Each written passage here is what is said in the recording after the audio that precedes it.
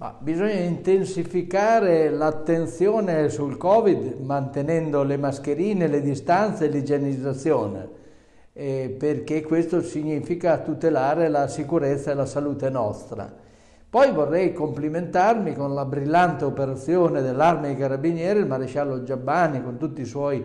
giovani carabinieri per aver arrestato un, un, paio di spacciatori e averne fermate una decina nella città di Vallefoglia, questa grande operazione che fa da pandan il grande lavoro che i carabinieri fanno a Vallefoglia, insieme anche alla polizia locale che grazie all'accordo con i sindacati è in H24 almeno nei weekend, quindi una grande collaborazione, serietà, rigore, sicurezza, sicurezza dal punto di vista ambientale, ecologico, della tutela della salute, sicurezza dal punto di vista dell'ordine pubblico e del rispetto delle, delle norme delle regole. Grande operazione antidroga, eh, va il plauso della città di Vallefoglia, il mio personale, della giunta e la collaborazione che abbiamo sempre con prefettura e questura, con l'arma dei carabinieri, con tutte le polizie dello Stato sono importanti perché danno più serenità, più sicurezza,